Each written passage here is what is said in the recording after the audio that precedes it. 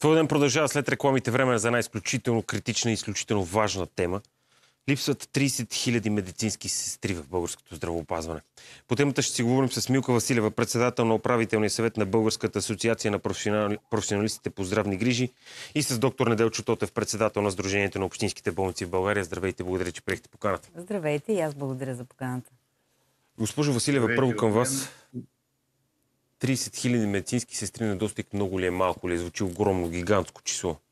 Това ли е големия проблем? За съжаление, те вече са повече от 30 хиляди и на нарастващия брой болници, които се случват ежедневно в България и разкриването на нови лечебни дейности, това означава, че този брой е стряскащ. В момента имаме криза в здравеопазването поради кадровия дефицит на медицински сестри в България. Доктор Тотев, така ли е? Съгласен ли сте? Съгласен съм, няма как да не бъда. Повече от 15, вече близо 20 години алармираме. Тия 30 хиляди, нали, разбирате, че не са от днес. Тая сума се натрупа в годините поради безхаберието и липсата на всякакъв интерес от страна на хората, които можеха тогава да направят нещо, за да не се стигне до, до статукото в момента.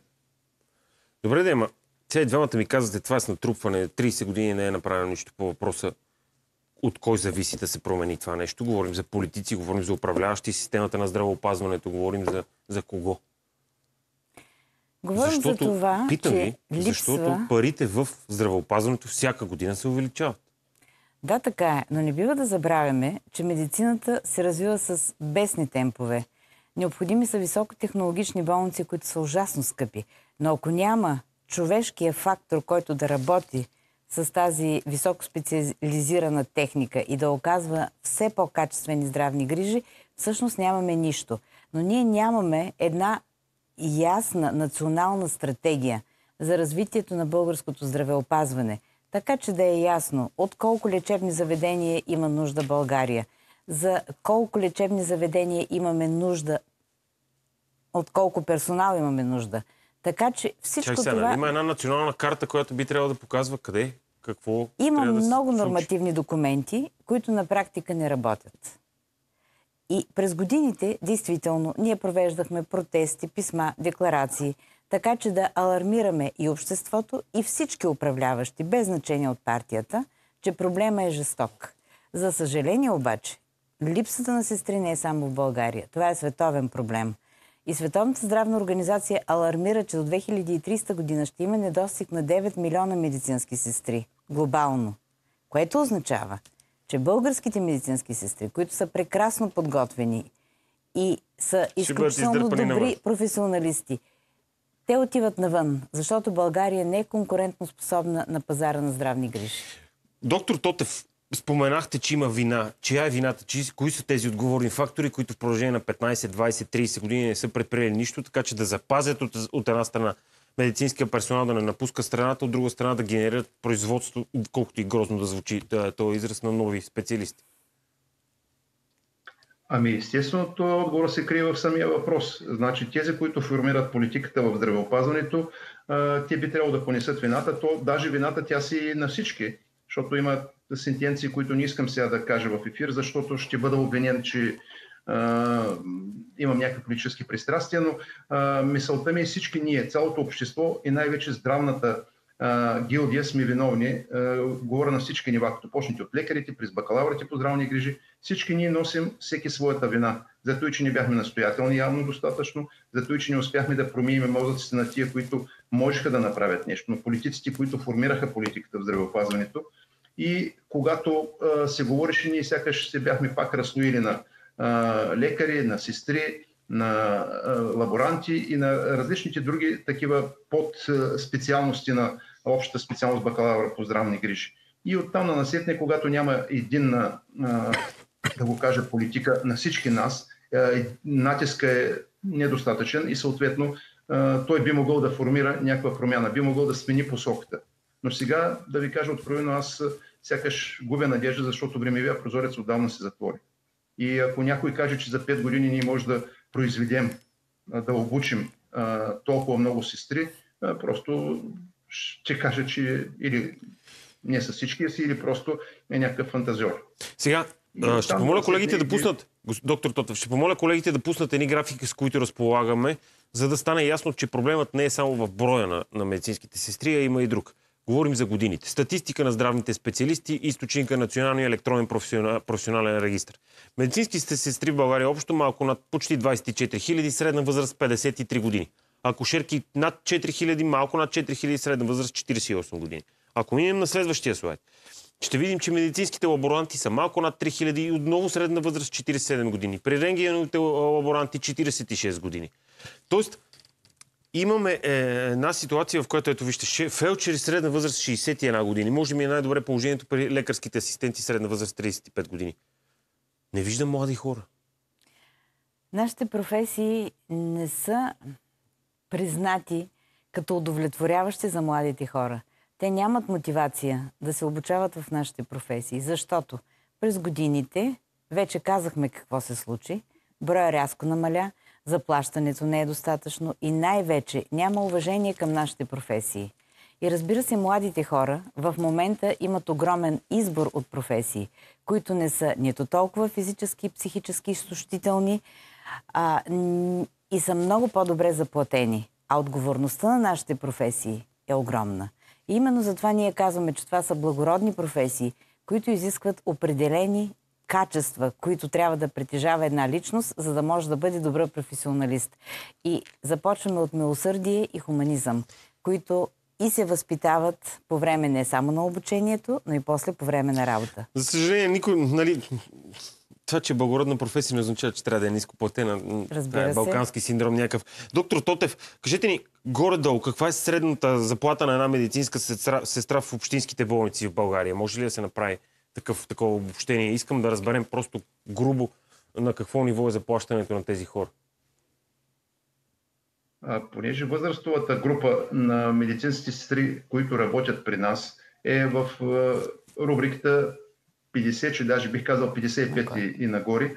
А, съответно, брутните заплати, аз винаги, когато говоря за заплати, не използвам онова, което синдикатите афишираха основна заплата, защото тя е много, тя първо отблъсква младите хора, които нямат никакъв, а, никаква а, години прослужено време които и допълнителни възнаграждения и зато и тя просто не е а, атрактивна. По-скоро нека говорим за брутна. А на въпроса ви конкретно, може би нямаме статистика, която да обобщим за всички общински болници, но се движи от порядъка на 2200-2500.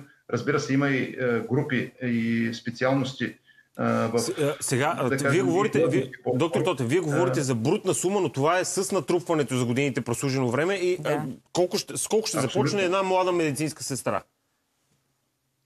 Една млада медицинска сестра а, започва от порядъка на 1500. А, това е така наречената стартова заплата, плюс вече допълнителни възнаграждения, които в някои болници се а, дават. А, За да го преведа на нашите а, зрители, това означава 1200 лева чиста заплата. Месечно. Не, пак ви казвам, винаги има надбавки. А, това са така наречените а, клинич, пари по клинични пътеки или материално стимулиране. Под различна форма е, а, така да го кажа, се дават тия средства. Но идеята е точно това, да се опитаме да станем по-привлекателни за а, младите кадри. Той с 3000 лева едва ли ще станете, но, но друг е въпросът сега. А, Не, а, госпожо Василева. Госпожо Василева, обяснете ми, парите за заплащането, особено в общинските болници, откъде идват за медицинските сестри?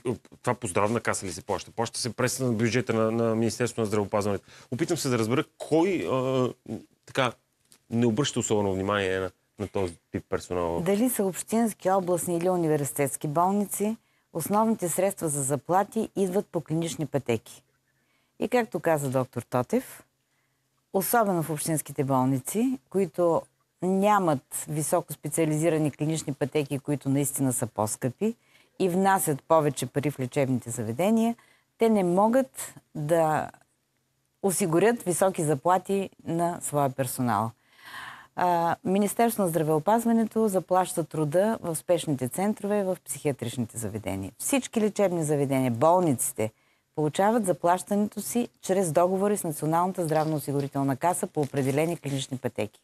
Доктор Тотев, също ли е, същото ли е положението в частните болници? Сега при всички положения там заплатите са по-високи, но когато говорим специално за такъв тип специалисти по медицински и здравни грижи, как е положението там. Опитам се да разбера дали проблема е в държавата и ако ако, ако говорим за частни, за, за частни пазари на, на, на, на реален економически пазар, нещата могат да стоят по-добре. Не бих искал да взимам думата от името на колегите, защото това ще е информация, която съм получил на принципа казал рекал. Без да ми така, казвате че, точни би... числа. Просто по-висока ли е? Без да ми казвате точни числа, просто по-висока ли е заплатата при всички положения? При всички случаи е по-висока, вероятно. И плюс това има и нещо друго. Значи не само заплатата е тази, която държи един човек на конкретно работно место в дадена болница. Перспективата за развитие, сигурността всъщност също са важни фактори, които всеки пренебрегва. Ние в България сме по-католици от папата по отношение на това, което като изискване под маската на качество се поставят едни високи изисквания, на които не би отговорила европейска държава. Ние, една Германия, която е сочат за пръст като една добре развита държава, там нещата са корено различни по отношение на либерализацията на работа като на длъжност медицинска сестра. И лично аз на гърба си съм го изпитал като пациент. Съм бил обслужен от медицински сестри, които са още в фазата на обучителния си процес и то даже нямаха и година завършили и си работиха под някаква форма като договори. Така че всъщност ние и там трябва да помислим, защото тук се говори за някакво качество, което ако питате който и да е политик, е, жонглирайки с тази дума, какво е определението за качество, няма да ви го кажа, сигурен съм, защото аз съм питал. Ние си имаме нашето определение за качество, но, но като тръгнем да говорим и искаме от някого дефиниция, защото всеки казва, вие или кое е некачествено? И като кажем, добре, кое е некачествено, абе вие сте, нямате бройки и почват да говорят, почват да бъркат количество с качество. Госпожо Василева, в момента сме на да, благодаря. Госпожо Василева, имате ли решение на проблема извън парите? Очевидно е, че трябва да се дигнат заплатите. Има ли нещо друго обаче, което държавата, отговорните фактори, политиците, хората, които управляват системата на здравеопазването, трябва да направят така, че да привлекат повече млади хора, най-вече млади хора в системата? Много бихме искали това да се случи и затова през годините давахме най-различни идеи. За съжаление обаче, никой не обърна на нашите, внимание на нашите идеи.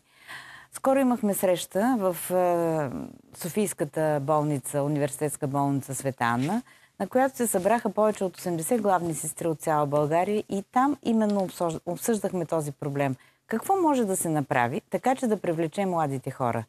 Всеобщо мнението е, че трябва да покажем на младите хора, че тази професия е уважавана.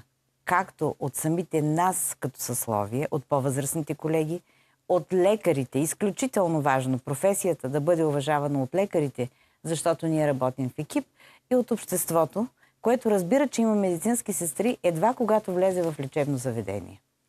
Разбира се, трябва да има и достойно заплащане, за което основно договори водят синдикалните централи, Министерството и Националната здравноосигурителна каса и ясни възможности за кариерно израстване. Ние като организация имаме своите идеи и стъпки за това, но за съжаление, когато хората, които са допълнително обучени и квалифицирани, работят в дадено лечебно заведение, те не са получили правомощията да изпълняват тези ангажименти, за които те са получили предварително подготовка и разбира се по-високо заплащане. Ако тези три стъпки се изпълнят, но това само може да стане във времето, може би ще се появи интерес у младите хора към нашите професии. Добре, много ви благодаря и на двамата. Милка Василева, председател на управителния съвет на Българската асоциация на професионалистите по здравни грижи и доктор Неделчо Тотев, председател на Сдружението на общинските болници. Уважаеми зрители, бюджетът на Националната здравноосигурителна каса за тази година е над 8 милиарда лева. Само преди 10 години беше наполовина. В същото време липсват 30 000 медицински, работни, а, медицински сестри в страната. Проблемът се задълбочава и през последните години. Няма нито една година, в която този брой да се увеличава, да, да е намалявал поне, поне за малко. Може би е време да спрем да обръщаме внимание на политическите циркове и да започнем да искаме това, което ни принадлежи, защото тези пари са нашите пари. Новини и реклама.